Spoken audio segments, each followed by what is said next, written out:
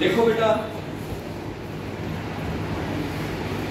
Computer line ਦੇ ਵਿੱਚ ਆਪਾਂ ਕੋਈ ਵੀ ਸੌਫਟਵੇਅਰ ਬਣਾਉਣਾ ਹੋਵੇ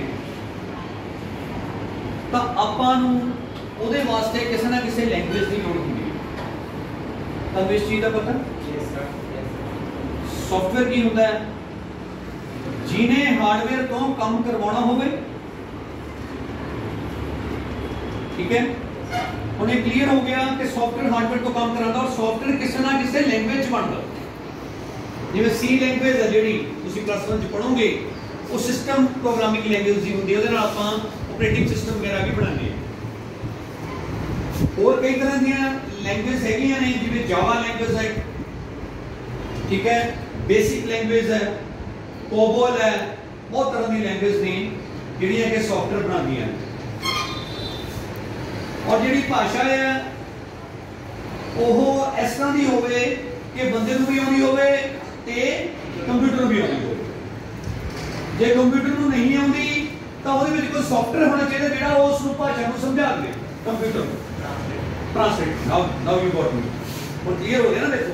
Yes, sir. ਇਸੇ ਤਰ੍ਹਾਂ ਬੇਟੇ ਜਿਵੇਂ ਅਸੀਂ ਬੈਠ ਕੇ ਆਪਣੀ ਕੰਪਿਊਟਰ ਲੈਬ ਦੇ ਵਿੱਚ ਐਮਐਸ ਵਰਡ 'ਚ ਕੰਮ ਕਰਦੇ ਆਂ ਐਕਸਲ 'ਚ ਕੰਮ ਕਰਦੇ ਆਂ ਪਾਵਰਪੁਆਇੰਟ 'ਚ ਕੰਮ ਕਰਦੇ ਆਂ ਆਪਣੇ ਆਪਣੇ ਡਾਕੂਮੈਂਟਸ ਆਪਾਂ ਤਿਆਰ ਕਰਦੇ ਆਂ ਫਾਈਲਾਂ ਤਿਆਰ ਕਰਦੇ ਆਂ ਹੁਣ ਇਹ ਕੰਮ ਸਾਰਾ ਅਸੀਂ ਆਫਲਾਈਨ ਕਰਦੇ ਆਂ ਆਫਲਾਈਨ ਮਤਲਬ ਜਿੱਥੇ ਸਾਨੂੰ there is no need of an internet ਪਰ ਹੁਣ ਕਿਉਂਕਿ ਆਹ ਵਾਲਾ ਜਿਹੜਾ ਕੰਮ ਹੁੰਦਾ ਹੈ ਜਿਹੜਾ ਅਸੀਂ ਦਫ਼ਤਰਾਂ 'ਚ ਕਰਦੇ ਹਾਂ ਉਹ ਸਾਨੂੰ ਸ਼ੇਅਰ ਕਰਨ ਦੀ ਲੋੜ ਪੈਂਦੀ ਹੈ ਆਪਣੀ ਇਨਫੋਰਮੇਸ਼ਨ ਨੂੰ ਅਸੀਂ ਲੋਕਾਂ ਨਾਲ ਸ਼ੇਅਰ ਕਰਨਾ ਹੁੰਦਾ ਹੈ ਤਾਂ ਉਹਦੇ ਵਾਸਤੇ ਅਸੀਂ ਇਹਦਾ ਮਤਲਬ ਕਿ ਆਨਲਾਈਨ ਵੀ ਕੁਝ ਪੇਜ ਬਣਾਵਾਂਗੇ ਤਾਂ ਕਿ ਲੋਕ ਸਾਡੇ ਉਹਨੂੰ ਦੇਖਣ ਉਸ ਨੂੰ ਪੜ੍ਹਨ, ਉਸ ਤੋਂ ਫਾਇਦਾ ਉਠਾਉਣ।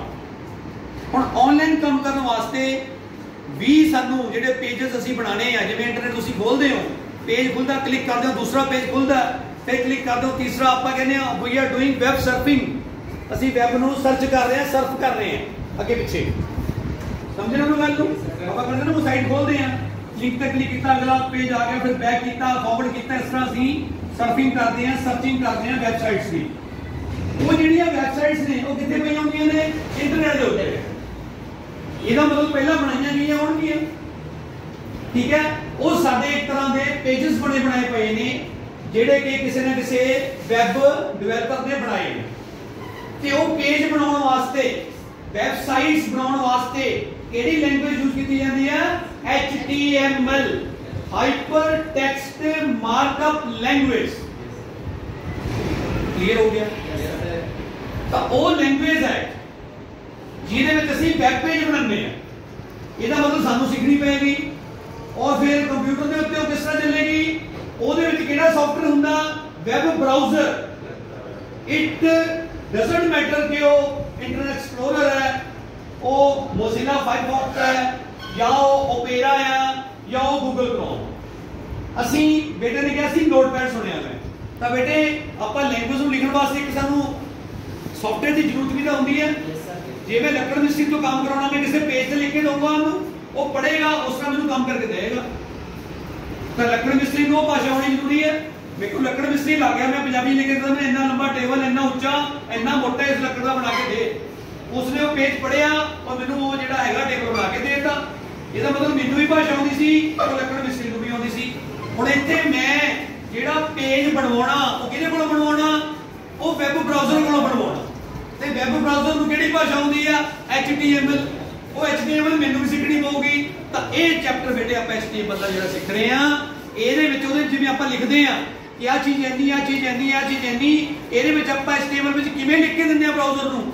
ਆਪਾਂ ਇਹਦੇ ਵਿੱਚ ਬੇਟਾ ਟੈਗਸ ਯੂਜ਼ ਕਰਦੇ ਆ ਟੈਗ ਜਿਵੇਂ HTML ਟੈਗ ਆ ਹੈਡ ਟੈਗ ਆ, ਠੀਕ ਹੈ ਬੋਡੀ ਟੈਗ ਆ, ਵੀ ਸਾਡੇ ਪੇਜ ਦਾ ਜਿਹੜਾ ਉਹ ਟਾਈਟਲ ਕਿੱਦਾਂ ਦਾ ਹੋਵੇ, ਉਹਦੇ ਹੈਡਿੰਗ ਦੇ ਵਿੱਚ ਕੀ ਲਿਖਿਆ ਹੋਵੇ, ਉਹਦਾ ਕਲਰ ਕਿਸ ਤਰ੍ਹਾਂ ਦਾ ਹੋਵੇ, ਉਹਦੇ ਤੇ ਫੋਟੋ ਕਿਹੜੀ, ਤਸਵੀਰ ਕਿਹੜੀ ਲੱਗੀ ਹੋਵੇ ਉਹਤੇ ਵੀਡੀਓ ਕਿਹੜੀ ਚੱਲੇ, ਉਹਦਾ ਲਿੰਕ ਕਿਹਦੇ ਨਾਲ ਬਣਿਆ ਹੋਵੇ, ਸਮਝ ਰਹੇ ਹੋ ਗੱਲ? ਤਾਂ ਉਹ ਵੀਡੀਓ ਆਪਾਂ ਬਣਾਵਾਂਗੇ HTML ਦੇ ਵਿੱਚ। HTML 'ਚ ਆਪਾਂ ਲਿਖਾਂਗੇ ਟੈਗ ਹਰ ਤਰ੍ਹਾਂ ਦੇ ਟੈਗ ਪਏ ਆ। ਵੀਡੀਓ ਕਿਵੇਂ ਲੈ ਕੇ ਆਣੀ ਆ? ਤਸਵੀਰ ਕਿਵੇਂ ਲੈ ਕੇ ਆਣੀ ਆ? ਲਿੰਕ ਕਿੱਦਾਂ ਬਣਾਉਣਾ? ਬ੍ਰੇਕ ਕਿੱਦਾਂ ਲਗਾਣੀ ਹੈ? ਠੀਕ ਹੈ? ਉਹਦੇ ਟਾਈਟਲ ਕਿੱਦਾਂ ਹੋਵੇ? ਉਹਦਾ ਪੇਜ ਦਾ ਕਲਰ ਕਿੱਦਾਂ ਦਾ ਹੋਵੇ? ਉਹਦਾ ਜਿਹੜਾ ਟੈਕਸਟ ਲਿਖਿਆ ਉਹ ਕਿੱਦਾਂ ਦਾ ਹੋਵੇ? ਟੈਕਸਟ ਮੂਵ ਕਿੱਦਾਂ ਕਰਾਣੇ ਆ? ਤਾਂ ਇਹ ਸਾਰਾ ਕੁਝ ਹੁੰਦਾ ਹੈ। ਸੋ ਕਲੀਅਰ ਵੀ ਹੋਇਆ ਕਿ HTML HTML ਇੱਕ ਲੈਂਗੁਏਜ ਆ, ਜਿਹੜੀ ਕਿ ਵੈਬ ਪੇਜ ਬਣਾਉਣ ਦੇ ਕੰਮ ਆਉਂਦੀ ਹੈ। ਔਰ ਉਹਦੇ ਵਿੱਚ ਸਾਡੀ ਹੈਲਪ ਕੌਣ ਕਰਦਾ? ਵੈਬ ਬ੍ਰਾਊਜ਼ਰ ਤੇ ਇਸ ਕਰਕੇ ਸਾਨੂੰ ਕੋਈ ਨਾ ਕੋਈ ਵੈਬ ਬ੍ਰਾਊਜ਼ਰ ਚਾਹੀਦਾ, ਤਾਂ ਕਿ ਆਪਾਂ HTML ਤਾਂ ਕਿ ਆਪਾਂ ਇੰਟਰਨੈਟ ਯੂਜ਼ ਕਰ ਸਕੀਏ। ਇੰਟਰਨੈਟ ਕੀ ਆ? ਇੰਟਰਨੈਟ ਸੂਚਨਾ ਦਾ ਭੰਡਾਰ ਆ। ਸੂਚਨਾ ਕਿਸ ਫਾਰਮ ਚ ਹੁੰਦੀ ਆ? World wide web world wide web ਕੀ ਆ? ਬਹੁਤ ਸਾਰੀਆਂ ਵੈਬਸਾਈਟਸ ਦਾ ਸਮੂਹ ਆ।